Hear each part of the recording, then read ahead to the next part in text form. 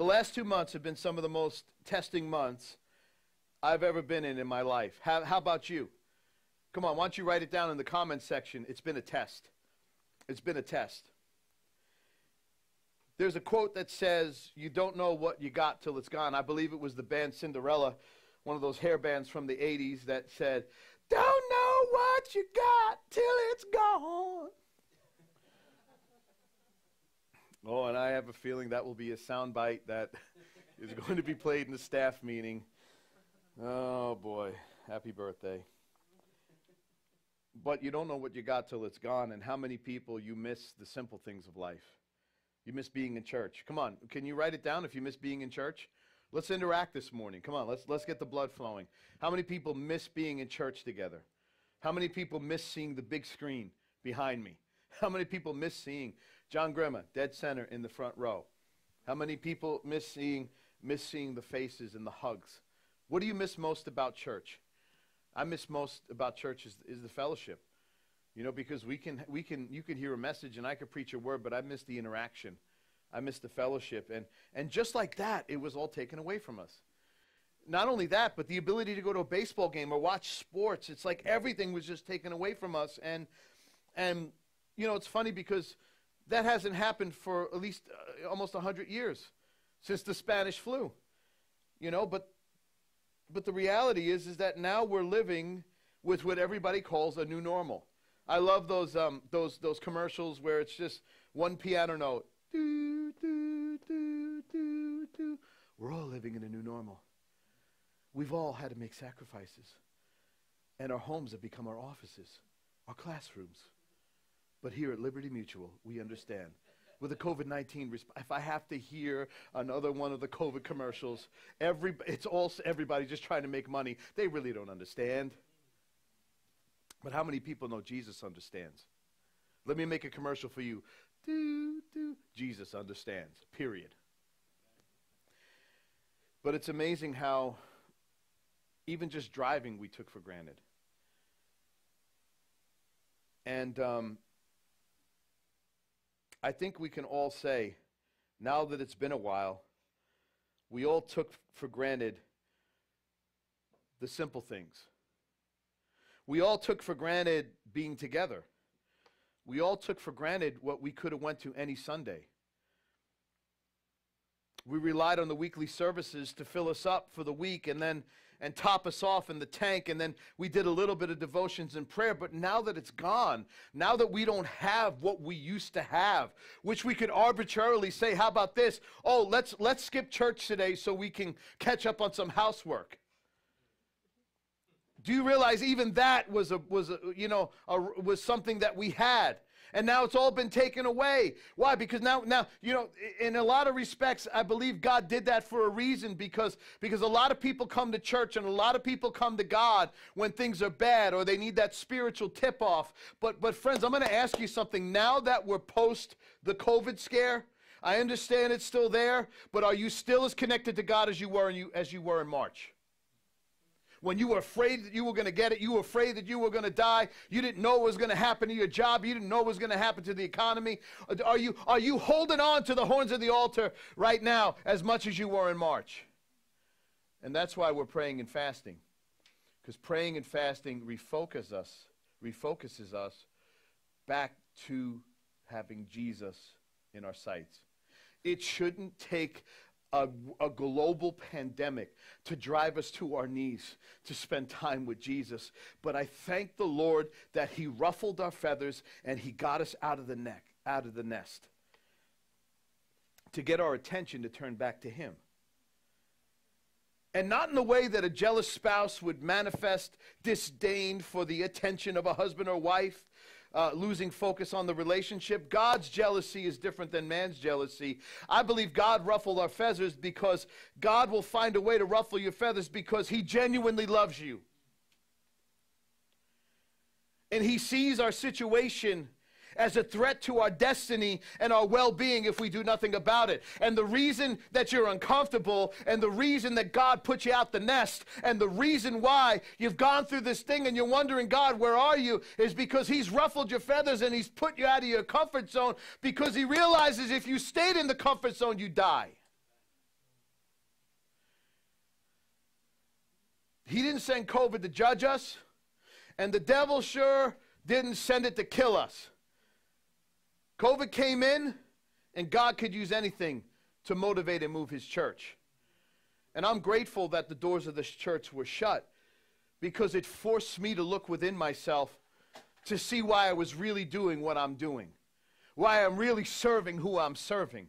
And I believe it's not just me that God was looking into, He's looking into you. And, and, and what was the reason you came to church? And what was the reason you wear that cross of gold on your neck? And what was the reason you lifted your hands in worship? What was the reason you volunteered? And I'm not saying that we had bad reasons, but sometimes we get out of focus, don't we? And sometimes we lose sight of what's really important. Sometimes we, we look at relationships out of what we can get rather than what we can give. I would give anything to be able to give to somebody in person right now. And sometimes God has to flip the world upside down for you to look up. And that's okay. But realize Jeremiah 29 11 says, For I know the plans I have for you, declares the Lord plans to prosper you, not to harm you, to give you a hope and a future. And I'm not here to make any prophetic statements. I'm not here to fully analyze the last two months as, we, as we've been displaced by this pandemic, but I am here to tell you what the Lord has told me for the people who He's entrusted into my hands. And I have a word for this house. Are you ready to receive it? As it happens with the whole church, it happens to you. That's the word He gave us in the beginning of the year when we did our first fast. As it happens with the whole church, it will go with the body and the members. In Deuteronomy 32 11, it says this like an eagle that stirs up its nest and hovers over its young, that spreads its wings to catch them and carries them aloft. I, I, I, I heard Tommy Barnett tell a story about an eagle, and, and it's so awesome. And, it, and, and this verse kind of gives you an insight into the eagle. So, so a mother eagle will give birth to the eaglets, and the eaglets will be in the nest. The nest of an eagle is, is on a top of a mountain. It's real high. And there comes a time where the feedings are over. There comes a time where the nursing stage is over. And that nest is filled with all kinds of fluffy things and insulation to keep the, the, uh, the eaglets warm. But then all of a sudden, the mother eaglet, one day before the chicks wake up, will take her beak and throw all the fluffiness out of the nest, that all that's left is the hard twigs and matter that made up that nest. And when the little eaglets wake up, they realize their blankie's been taken away. Their woobie, if you follow Kenny from Mr. Mom. and the little eaglets wake up and say, wait a minute, the, the nest didn't look like this last night. What's happening? And they realize mom looks a little angry. And the mother eagle will take one of the eaglets in her beak, go to the edge of the nest, and then all of a sudden drop that little eagle. Now, some of you animal lovers are like, that's so cruel. We need to get picket signs. Justice for eagles. Justice for eagles. You see, before you get too judgmental, you need to realize there's a purpose in the pain. And I'm saying that to you right now as you've been dropped off a cliff and you're looking at God and you're saying, God, why would you do this to me? How could you allow this to happen to me? Why is this happening to me? As you are death dropping. But what does the Bible say? It hovers over its young that spreads its wings to catch them and carries them aloft. The mother eagle will drop the eaglet, and the eagle has one or two choices fly or die. You see, because if the little eagle was allowed to stay in the nest, it would never learn to use its wings. It has to be put under hardship. It has to be dropped off a cliff so that it realizes wait a minute, these things that I have on the side of my body are not just for pointing at my brothers and sisters. I got, I got to flap them. I got to do exactly what I saw the mother do. And, and, and if he doesn't, guess what the mother eagle does? Catches the eagle, brings him back up right before the eagle hits the ground. The mother eagle swoops in, catches the eagle, brings him back to the top of the nest, and repeats the process until the eagle learns. And that's exactly what God is doing to you right now.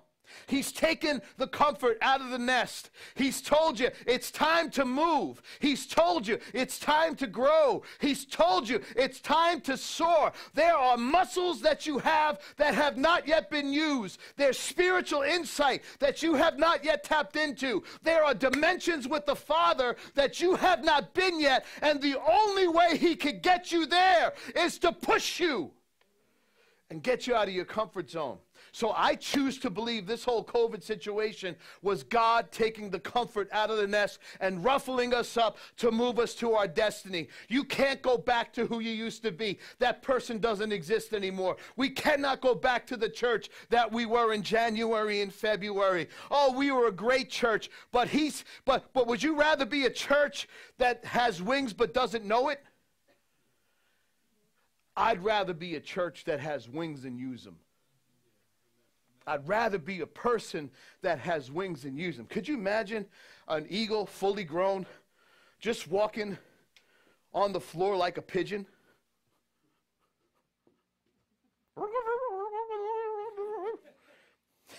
Listen, I'm getting desperate. You're not a pigeon. Pigeons, they got limited flying. They fly. They, I know. They, I know. Mike Tyson's got pigeons. They can fly on roofs and all that stuff but eagles can soar. They can go higher than the rest of the birds. They can look straight into the sun and it not bother them. He has called you. He in the Bible, he has reminded you that you're an eagle. They that wait upon the Lord, he shall renew their strength, and they shall mount up with wings as eagles. They will run and not grow weary, and they will walk and not be faint. Come on, is there anybody listening? All five of you, can you say amen? Perspective is everything. And so when I started to complain and think about God, why is this happening?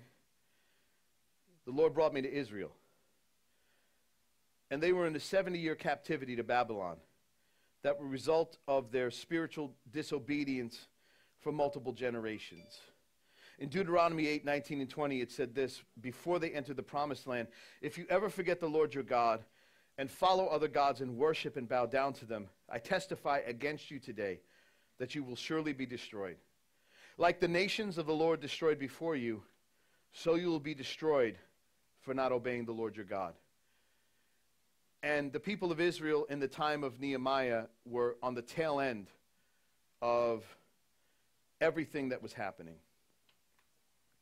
They were under God's judgment. And this is exactly what they did. They forgot the Lord, and as a result, the Lord loved them enough to correct them. You see, for hundreds of years, God was pleading with them to return back to Him.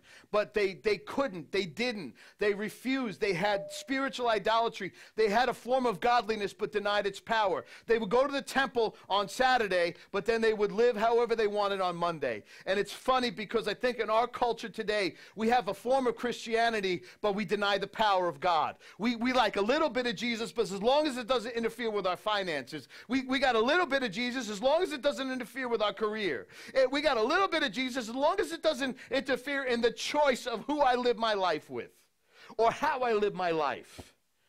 I'm a good person, but I'm going to tell you something good is not good enough to get into heaven. He needs surrender, and He needs you to make Him your Lord.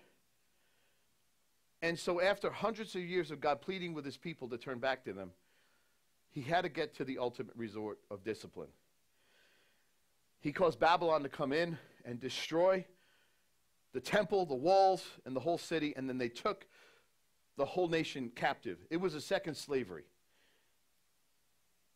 So now, through the prophets, the return is prophesied. And if you look in the book of Ezra and Nehemiah, the Persian Empire defeats the Babylonian Empire as God prophesied through his prophets. And it's all documented in the prophetic books. And the exiles, the remnant, is allowed to come back home to their home. But their home is different. You know, I wonder what it's going to be like when we finally get back in the sanctuary. It's going to be different. There's going to be people wearing masks. It's funny because years ago when Michael Jackson wore a mask, we thought he was a freak. Little did we know Michael Jackson, he, he pretty much knew more than we did. Come on. Oh, that hurt. Billie Jean. But the first group of people that are allowed to come back into the promised land through the return was Ezra and a band of exiles that came back to rebuild the temple. And then after them, Nehemiah came in with a band of exiles to come back and rebuild the wall. But there was a remnant. I want you to type that word in remnant. There's a remnant. And I will tell you this God will always leave a remnant. God will always leave a remnant. And God will always use a remnant. The remnant God leaves is the remnant that God will use. And friends, I've got to believe that not everybody who came to church is going to church anymore. I believe as we've been scattered, there's some that have probably gone away, and there's some that aren't watching us regularly, or whatever the case is, and that's fine. We'll go after them and we'll find them, and we'll, we'll bring them Jesus. But man, there's a remnant, and I'm going to say something right now. If you're watching with me right now, you are the remnant God is going to use to bring revival back to the land. You are, you are the remnant God is going to use to bring revival back to the church. You are the remnant God is going to use to move into the new church, into the new ministry. And you are the remnant that God is going to use to manifest anointing and blessing in your family. Can somebody say amen? How many people like sourdough bread? Sourdough bread, they have something called the starter. And one lady, the starter is, is the original yeast and one lady had a starter that was 122 years old. That means for 122 years, it was this same yeast that she was using to make the bread. Everything in sourdough needs that starter.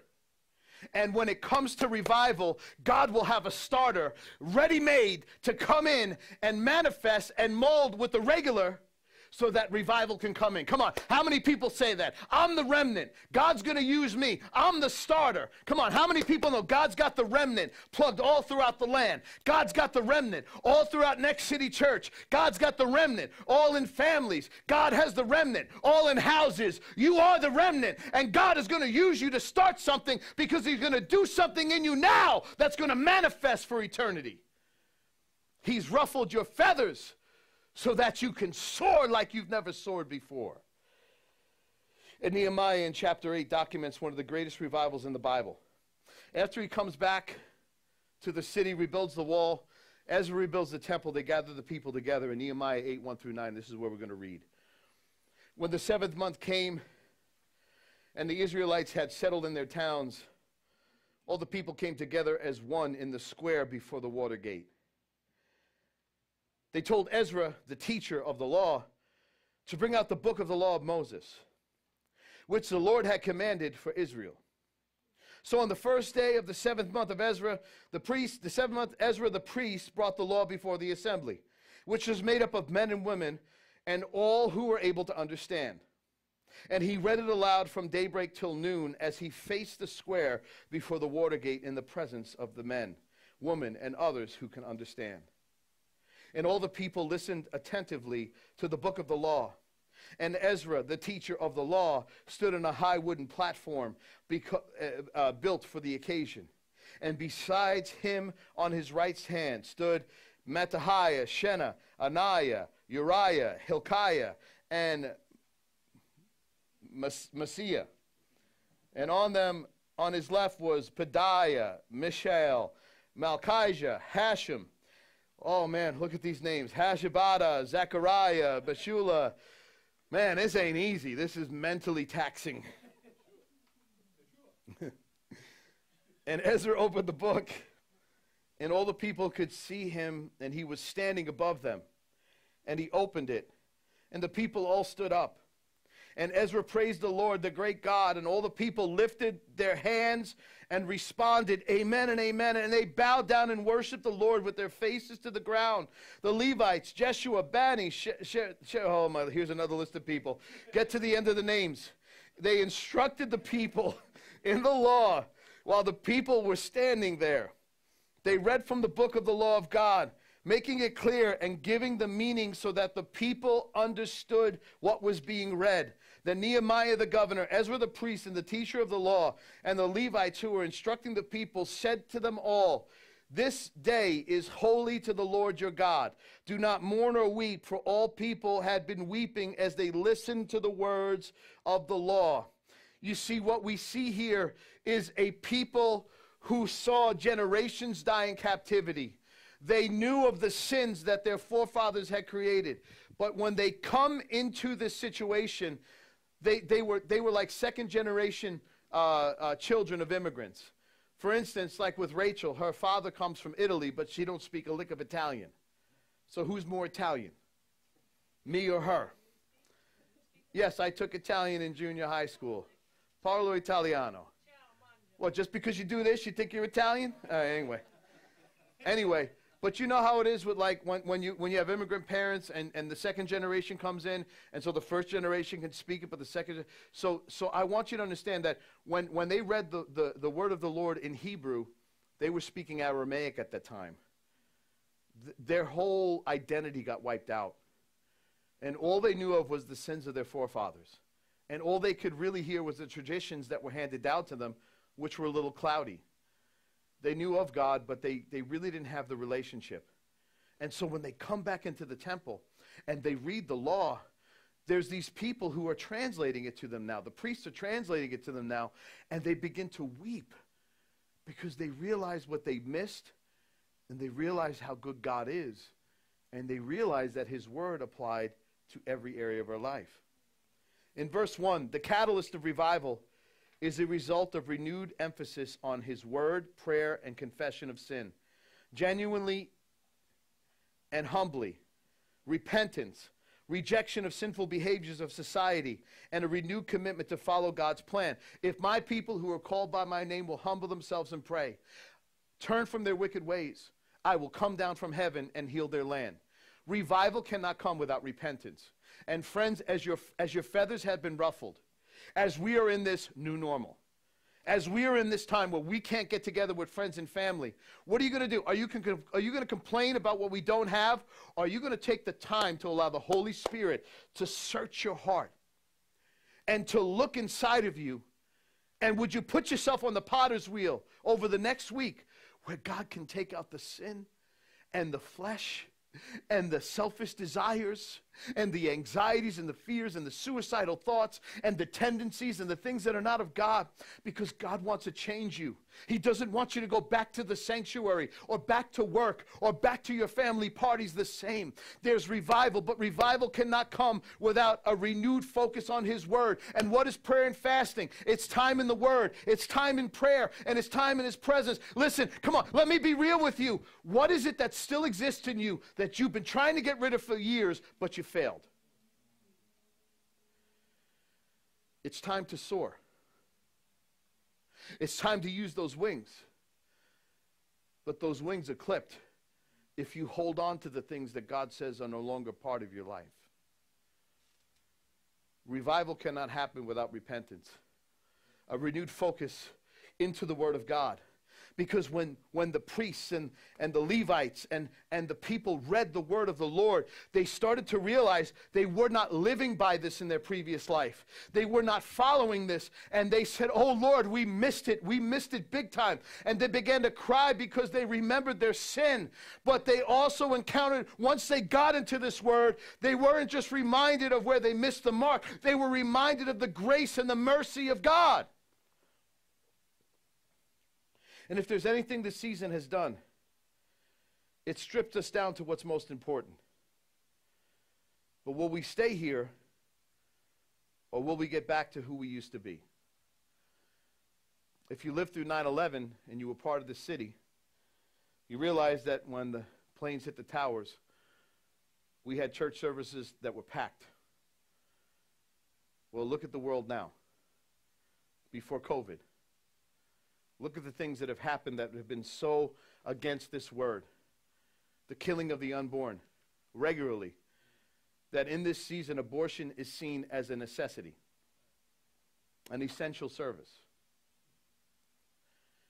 Look at what's happened in the world where people don't even understand their identity.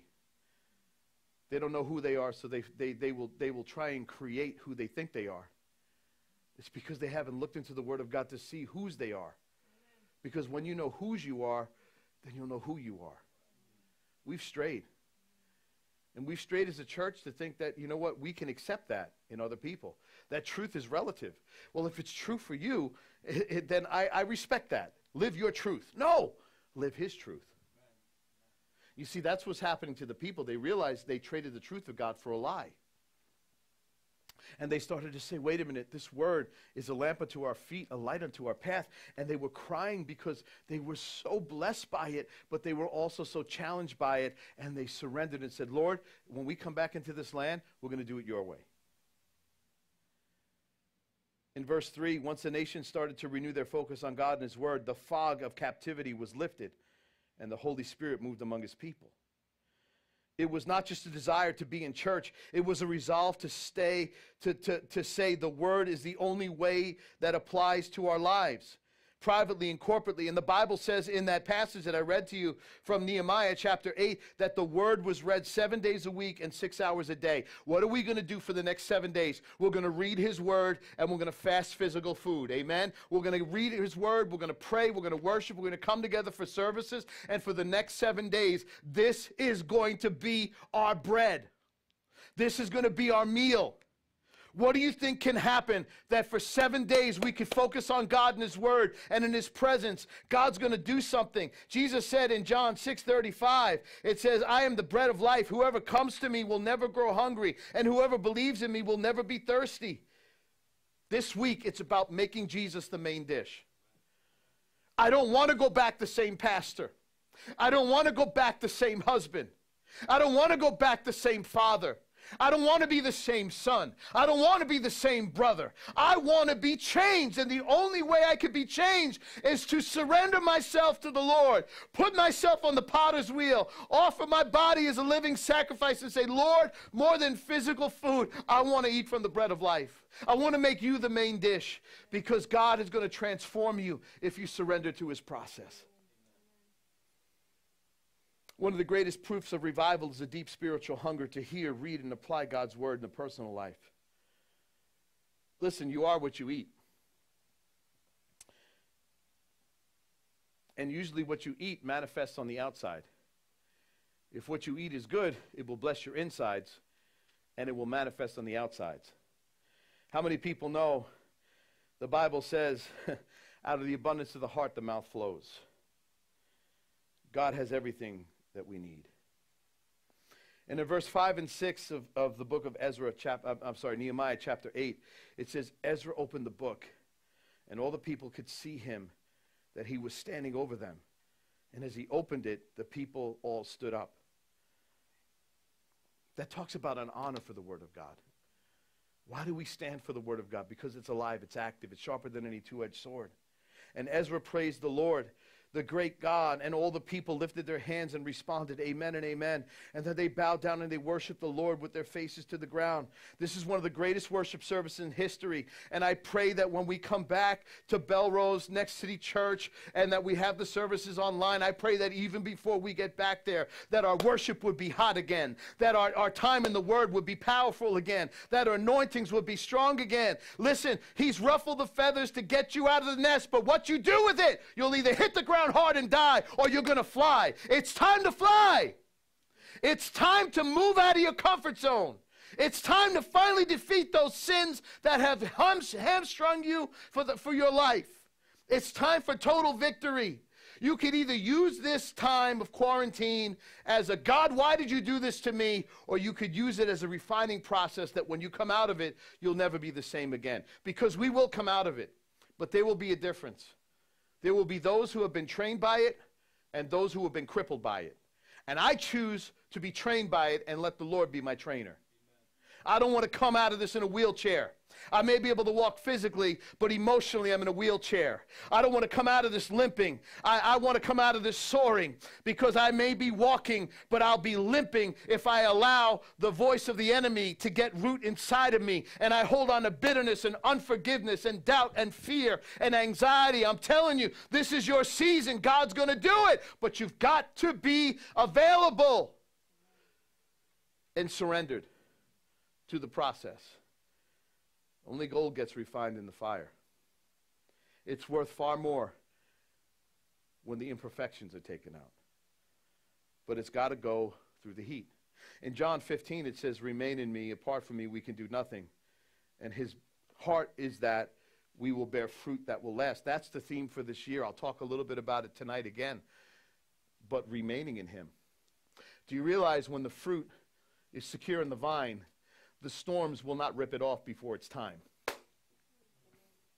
If you've remained in Him, you can walk through this season and you're still going to be on the vine because your strength and your security does not come from your own self, your money, or your resources.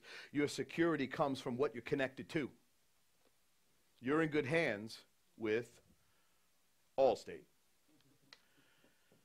I'd much rather be connected to the hands of my Savior than the hands of Allstate. Because all Allstate did was send me a $36 check to refund me for my uh, COVID stay home. $36, acting like they're going to be sending you millions of dollars. $36. Thanks for nothing, Allstate. You're in cheap hands. $36. But when you walk through the fire, he'll be with you. When you go through the waters, they will not overtake you. He's your Lord. And if there's ever a time we needed to allow him to be our shepherd, it's now. And friends, we've got to get out of this routine where we only run to Jesus when things don't make sense. And, and, a, and a virus or a terrorist attack or a personal tragedy or, or an internal struggle causes us to run to Jesus. He's not just the God of your problems, He needs to be the Lord of all. And that's what this whole time of prayer and fasting is it's a refocus. He's throwing you out the nest, and you could either be jaded by this process or formed by this process. When it's good on the inside, what manifests on the outside will be amazing. A good man brings good things out of the good stored up in his heart. An evil man brings evil things out of the evil stored in his heart. For the mouth speaks what the heart is full of. God desires us deeply to express our love for him. He calls us to worship him regularly. Praise and worship must be a part of our fasting. Psalm 29, 1 and 2 in the NLT. It says, Honor the Lord, heavenly beings. Honor the Lord for his glory and strength. Honor the Lord for his glory of his name. Worship the Lord in despair of his, uh, uh, worship the Lord in the splendor of his holiness. Psalm 96, 8, 9 in the NLT says this Give to the Lord the glory he deserves. Bring your offering and come into his courts. Worship the Lord in all his holy splendor. Let all the earth tremble before him. That, that our, our prayer and fasting must not just be about reading the word, but we've got to learn how to worship. You can't just look at Dom and Genesis, and some of you may be saying, Oh, aren't they great? Aren't they talented? Oh, I like that song. And you listen to it like you listen to a song on the radio. We don't have this worship for your entertainment, we have this worship for His glory.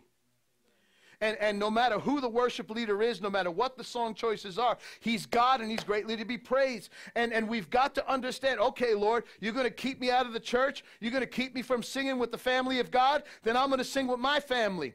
It's got, it's got to be natural to praise God no matter who's around. And I believe one of the things God is doing in this quarantine is He's forced you to be with your family, man of God, because you've been called to be the example. Your kids will do in excess what you do in moderation. So if you could praise God, guess how far they're going to go? You want to see the example? Look at me and my son. He's going to do things. Shut your ears. Come on, put your fingers in your ears. Deep in your ears. God, I hope you cleaned them. He's going to do things and go places that I've never been. I see it in him.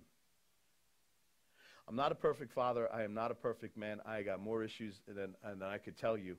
And believe me, that will come out in a book that Dominic will write once I die. But I do know this what they see is what they get. And I love the Lord.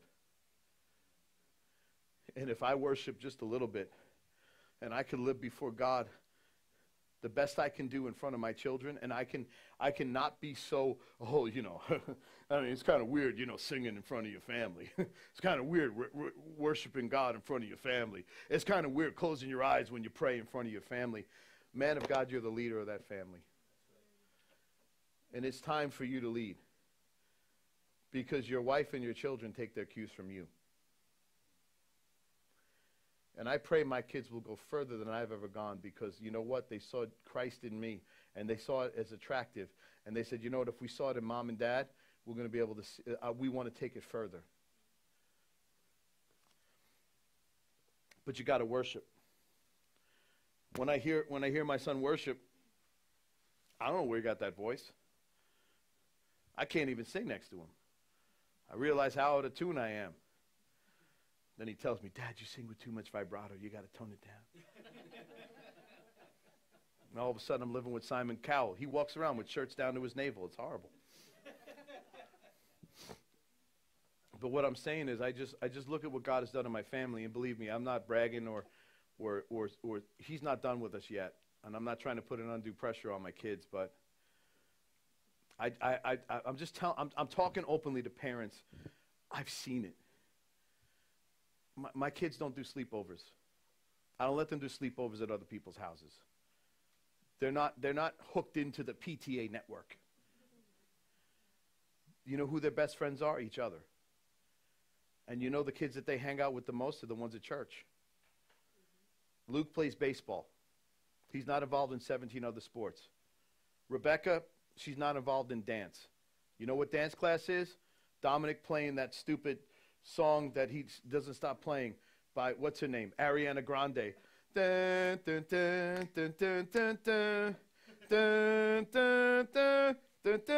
Right, that song? That's all I hear. And then there's Rebecca dancing like Paula Abdul. That's her dance class. Luke plays baseball.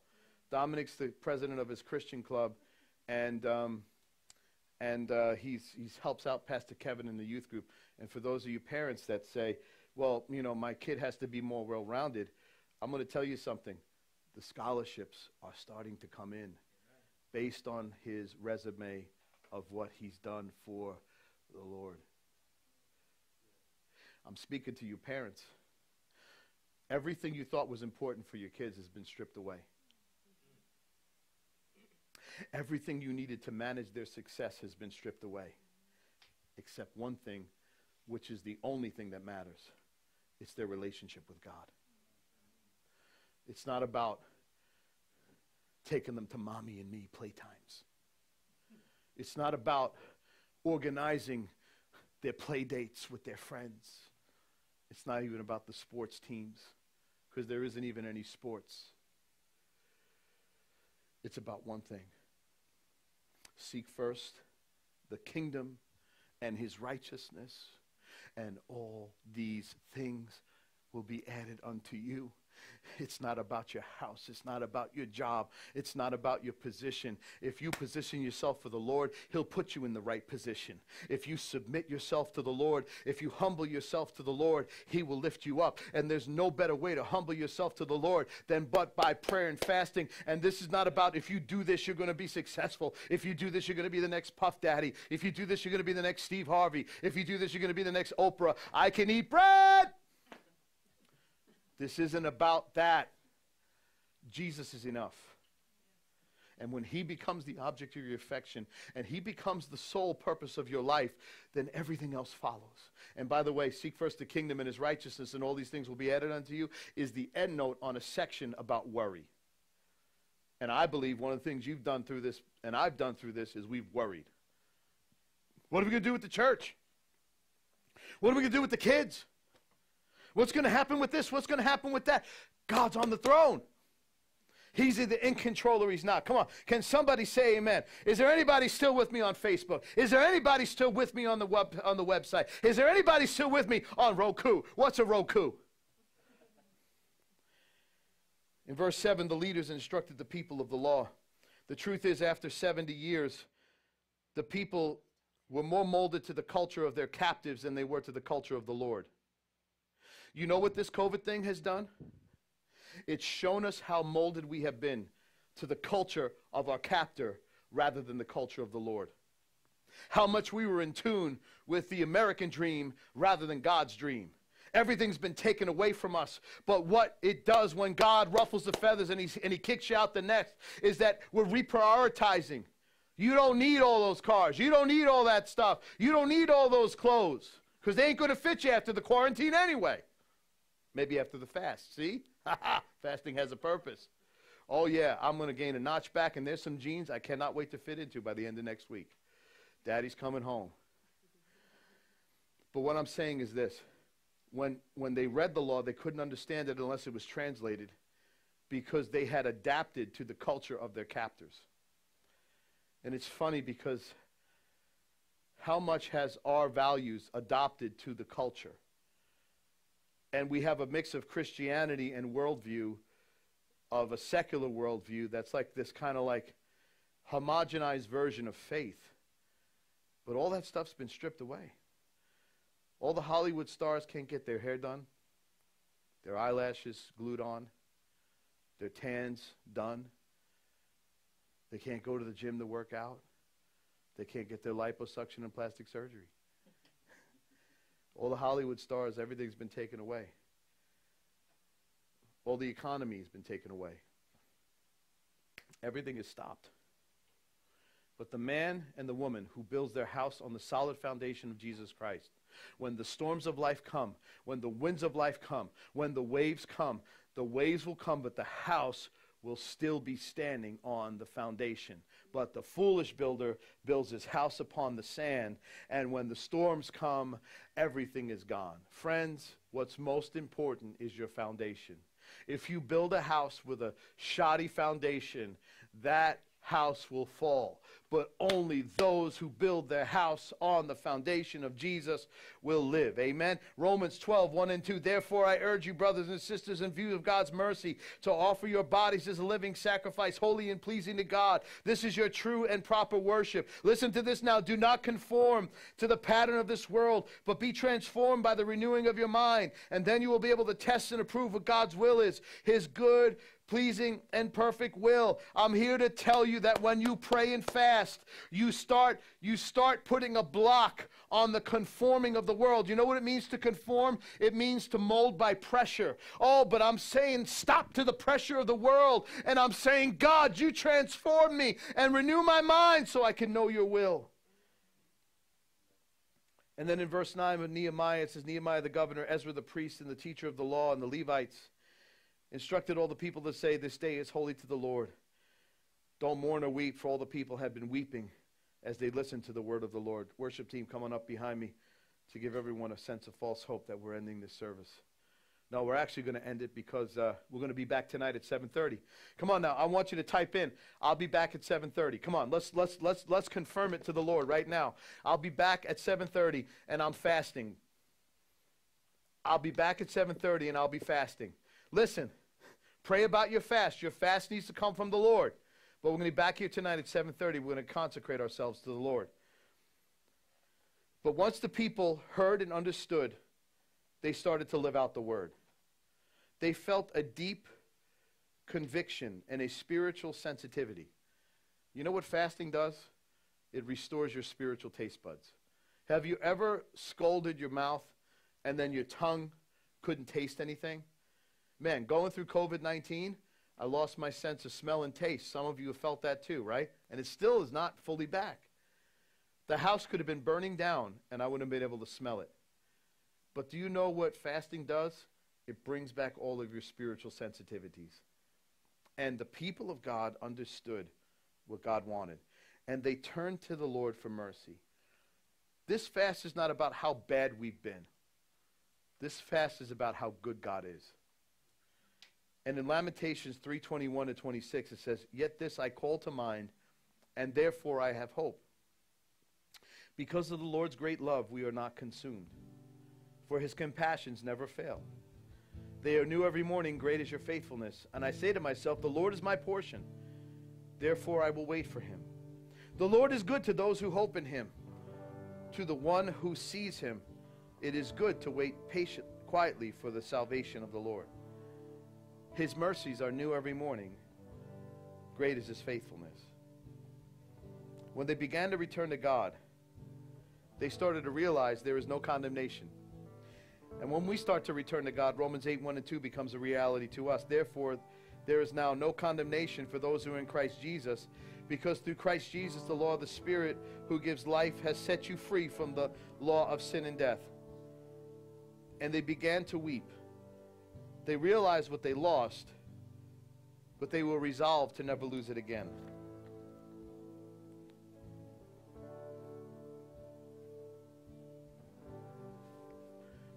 One of the one of the things that God has put in my mind is the day we return back to church. It's the day that you roll up to 240 15 Hillside Avenue. You go to the lot and you see Louie and Jason and, and Kerry. And they wish you a, a happy Sunday. You come in through those double doors on Hillside, you're greeted by some of the serve team carrying on the traditions of Naomi and Gloria. You walk into the church and you, you smell the building again for the first time. And then instead of just seeing some of the worship team, you see the whole worship team. You see the camera operators, the sound technicians. You see the ushers, the greeters, and the hospitality. You sit down in that seat for the first time and you feel that gray Italian suit fabric that we got on those chairs. You see the sign light up the cross lit up above. And there's a lot of things that seem similar, but there's a difference that you sense in the air. The difference is not going to be in the aesthetics. The difference is not going to be in the fact that we have a worship team or that there's camera operators.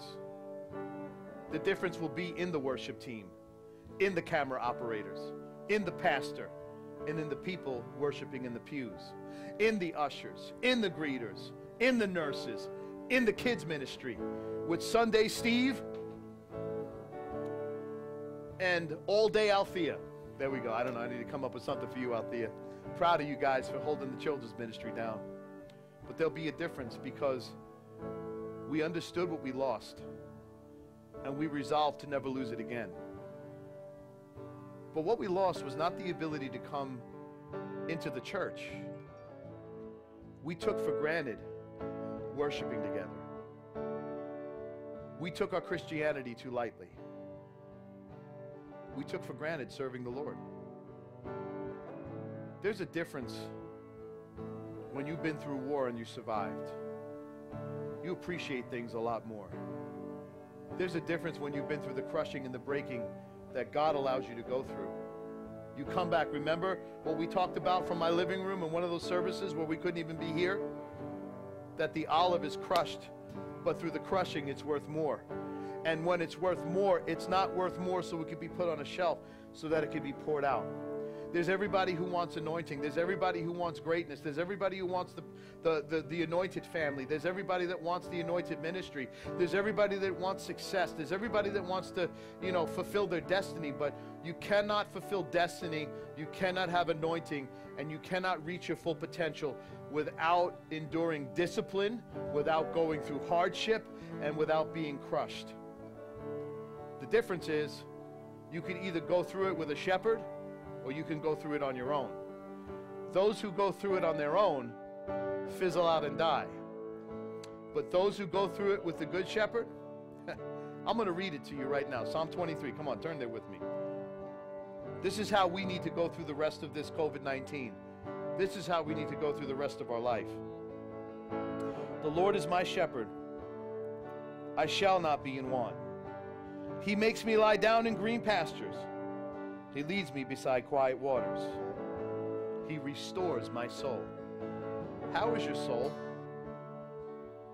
What's going on in here? How many hours have you been sleeping yet you're still weary? How many hours are you sleeping at night and waking up late the next day because you don't have to worry about necessarily being at work at a certain time as long as you get your work done? How many hours do you sleep a day and yet your soul is weary? When you have a shepherd, no matter what you go through, he will give you rest for your soul. He guides me in paths of righteousness for his name's sake. Even though I walk through the valley of the shadow of death, I will fear no evil, for you are with me. Your rod and your staff, they comfort me. You prepare a table before me in the presence of my enemies. You anoint my head with oil. My cup overflows, and surely goodness and love will follow me all the days of my life, and I will dwell in the house of the Lord forever. Last thing I'll tell you is this For those of you that are saying, God, why did this happen to me? Sometimes you need to be broken so that you can learn to trust God. When it says your rod and your staff, they comfort me, I want you to think of a sheep that uh, is is, not trusting the shepherd. That every time the shepherd gives the command to go left, that sheep goes right. And that every time that, that shepherd says, okay, here's the water that you're going to drink from, you got that sheep refusing to drink from the water because that sheep does not trust the shepherd. So, what the shepherd does, once again, cover your ears, you animal lovers.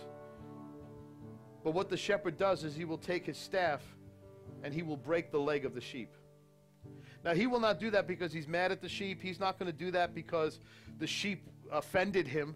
He's going to do that because he understands that if that sheep is going to live and not be attacked by predators, if that sheep is going to reach its full destination and be profitable to the master, if that sheep is going to fulfill its destiny as a sheep, if it's going to be safe and protected under the care, if it goes off by itself because of a lack of trust for the shepherd, it will surely die.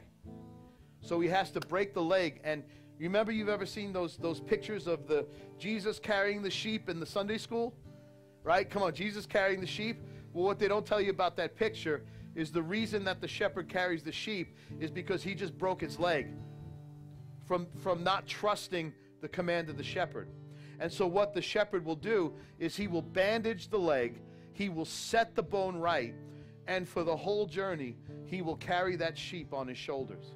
And when the sheep is on his shoulders, all of a sudden the sheep realizes the tone, the nature, the kindness, the protection, the provision of the shepherd. He sees firsthand what he used to assume from afar. And he gets a totally different view of the shepherd. Now, when that leg heals, the shepherd puts the sheep down, and that sheep will be the closest one to him not the furthest one from him. No matter where that shepherd goes, that sheep will be the most loyal sheep, the most trusted sheep, the most secure sheep. The ones on the fringe will get picked off, but that sheep will never ever fall because it's learned through the process of breaking, of crushing, of discipline, of hardship. You don't learn the voice of God when everything is great.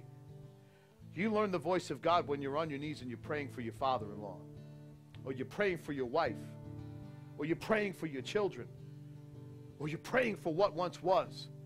And you say, God, why would you break me this way? And that's exactly when God puts you on your shoulders and He starts to walk with you. That's exactly what He wants to do this week in this fast. He wants to break us down, put us on His shoulders, and walk with us for this week. And if you do, you will learn God's heart. You will learn God's voice. You will learn God's ways. You will learn God's heart. You will learn God's provision. You will learn God's protection. You will learn, understand God's direction. And you will know who you are because you spent the week on the shoulders of the shepherd. But in order to do that, you got to say to King's stomach, not today. You got to take a break for a week. You'll live. You'll live without food. Your mind and your stomach will play games on you. You can do it because you're doing it for God. I want everyone to make an altar right now, and we're going to pray